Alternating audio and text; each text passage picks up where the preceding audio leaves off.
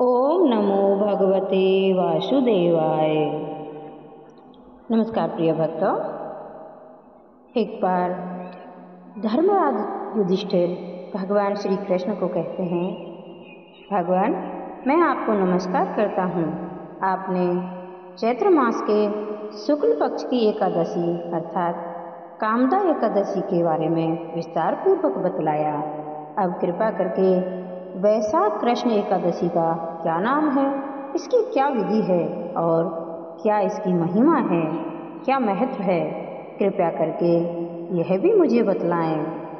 भगवान श्री कृष्ण ने कहा, हे राजेश्वर, वैशाख मास के कृष्ण पक्ष की एकादशी को वरुथिनी एकादशी के नाम से जाना जाता है। यह सौभाग्य देने वाली सब पापों को नष्ट करने वाली और अंत में मोक्ष देने वाली है। इसकी महात्म कथा अभी सुनाता हूँ। प्राचीन काल में नर्मदा नदी के तट पर मानधाता नामक राजा राज्य करते थे। वह अत्यंत दानशील तथा तपस्वी थे।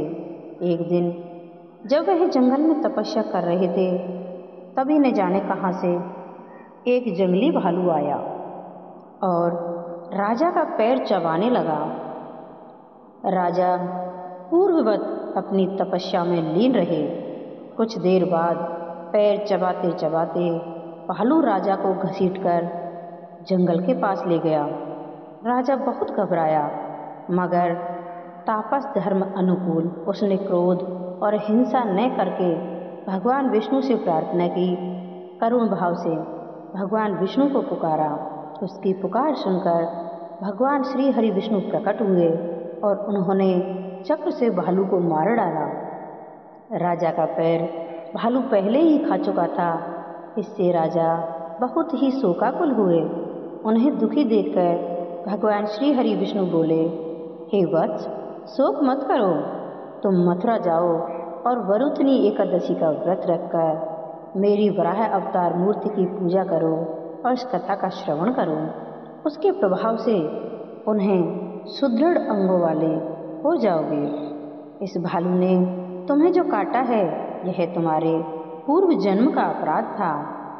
भग्य, भगवान की आज्ञा मानकर राजा मानधाता ने मथुरा जाकर श्रद्धापूर्वक वरुथनी एकादशी का व्रत किया। इसके प्रभाव से राजा शीघ्र ही पुनः सुंदर और संपूर्ण अंगों वाला हो गया। इसी एकादशी के प्रभाव से राजा मानधाता स्वर्ग गए थे।